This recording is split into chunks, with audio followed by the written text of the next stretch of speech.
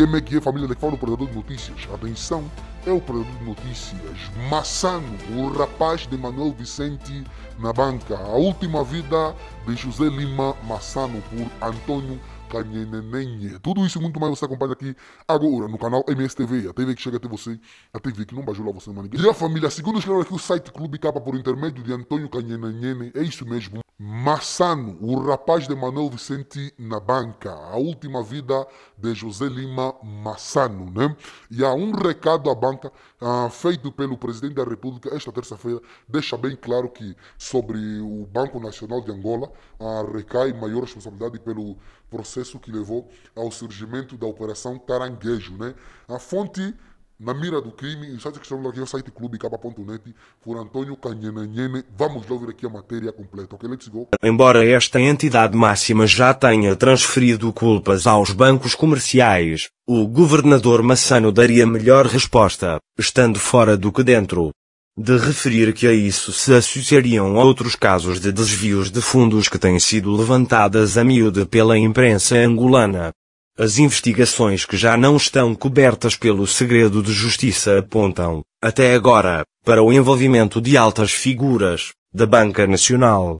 Não será, pois, surpresa que nos próximos dias venha registar, se mexidas em bloco no BNA as sujeiras de Massano o atual governador do Banco Nacional de Angola BNA, José de Lima Massano, é apontado pela imprensa de envolvimento em vários casos de corrupção, por exemplo, em 2018, o MACA Angola apontava-o como principal pivô de algumas das mais nefárias operações bancárias no país. Entre 2010 e 2015, já tinha sido governador do Banco Nacional de Angola, e desde 2006 até 2010 fora presidente da Comissão Executiva do Banco Angolano de Investimentos, BAE, cargo a que voltou em 2015 com base em vários documentos a que o Maca Angola teve acesso, Massano foi apontado como sendo parte da pilhagem do Banco Espírito Santo Angola, BESA, e sua transformação em banco econômico. Já percebemos que se tratou de uma operação de apropriação e pilhagem levada a cabo pelo triunvirato presidencial da época, Manuel Vicente e os generais Copalipa e Dino, sintomaticamente conhecidos como Irmãos Metralha, essa operação assentou em duas vertentes. Na primeira, em novembro de 2009, o BESA concedeu três créditos, no total de 375 milhões de dólares, a três empresas fantasma, propriedade dos irmãos Metralha. Estas empresas, Altis Siderurgio, Delta Inertes e Batão Inazoque Hidrocarbonetos, simularam o levantamento dos 375 milhões de dólares para logo os depositarem na conta da Portmil, que assim comprou 24% das ações do próprio Beza. Esta fraude é clara. José de Lima Massano aparece como o responsável, na qualidade de presidente da Comissão Executiva do BAE, pela concessão do segundo crédito, também de 375 milhões de dólares na mesma altura, para a compra das mesmas ações do Beza. Tanto Massano como os irmãos Metralha sabem do desaparecimento deste crédito, que serviu para o enriquecimento ilícito do referido triunvirato. Considerado como o rapaz de Manuel Vicente na banca, e pelos bons serviços prestados a interesses obscuros. José de Lima, Massano foi promovido, poucos meses depois, a governador do BNA aqui chegamos à segunda vertente, a Assembleia Geral realizada a 29 de outubro de 2014, que reúne todos os requisitos para ser declarada ilícita.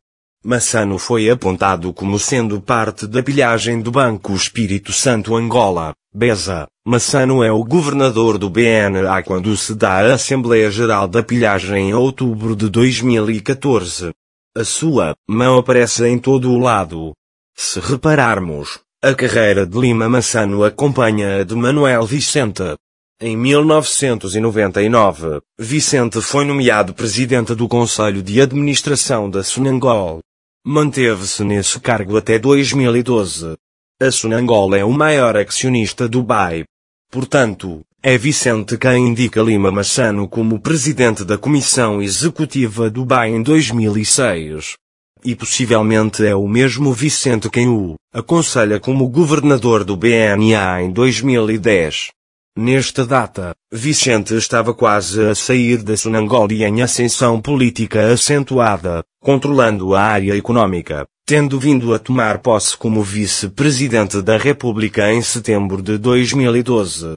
Atualmente, a recondução de Lima Massano por João Lourenço como governador do Banco Nacional de Angola também é atribuída ao Conselho de Manuel Vicente.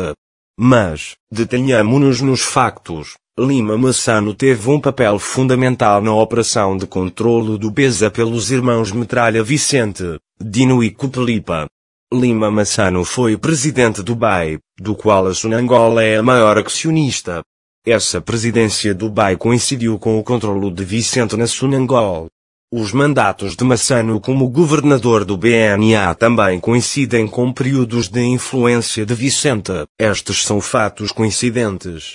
Obviamente, competirá ao Ministério Público investigar em plenitude o que se passou no BESA e tirar conclusões relativamente às causas e efeitos destas coincidências. O que neste momento é certo é que Lima Massano deu cobertura às atividades de tomada de controlo do BESA pelo então triunvirato presidencial, assim como foi o principal responsável pela concessão de um falso crédito de 375 milhões de dólares, cujo destino deve ser esclarecido por todas as partes envolvidas, uma vez que também se trata de dinheiro público. Em agosto de 2018, de acordo com o MAC Angola, um misterioso contrato do BNA com o célebre Jean-Claude Bastos de Moraes, o mentor de Zenu e esse gestor do Fundo Soberano, fez soar o alarme. Aparentemente, em 2011 o BNA teria concedido à administração de Jean-Claude 3 bilhões de dólares. Tanto quanto se apurou, o destino de parte dessas verbas foram empresas ligadas a Jean-Claude, Zinu e outros associados, e vários valores foram perdidos. Entretanto, uma parte desse dinheiro foi recuperada pelo BNA, mas pelo menos 250 milhões de dólares estavam em falta em agosto, continuando sob a gestão de Jean-Claude Bastos de Moraes, que, por sua vez continuava a cobrar honorários chorudos pela sua optativa administração de fundos. Nesta história surge também Davi Mauro Figueiredo de Carvalho, Clima Massano levou Dubai para o BNA, e a quem nomeou como diretor do Departamento de Gestão das Reservas. Era o seu homem de inteira confiança.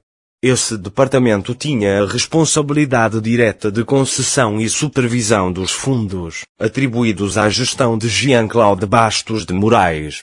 Quando Massano saiu da primeira vez do BNA, Davi Mauro foi diretamente trabalhar com Jean-Claude Bastos de Moraes, no seu Quantum Group, como diretor regional do Quantum Global Group para Angola e Moçambique. Ambas as histórias revelam uma intensa promiscuidade entre Lima Massano e várias operações financeiras obscuras, que podiam colocar em perigo o sistema bancário angolano, se é que não... A família, o vídeo de hoje foi esse, as culturas sabem fazer, se inscrevam no canal, ativem as notificações, partilhem o vídeo, comentem, porque isso também é notícia, se saber saber parte de nós, então é notícia. A nossa campanha para aprender a família Santos, para aprender a família neta, a família de Gilo continua. Os nossos contactos para parceria e divulgação vocês estão na descrição, na descrição dos nossos vídeos. Queria saber a opinião que é muito importante, um dia de tomar até o próximo vídeo. MSTV, a TV que chega até você, a TV que não bajula você, maniga.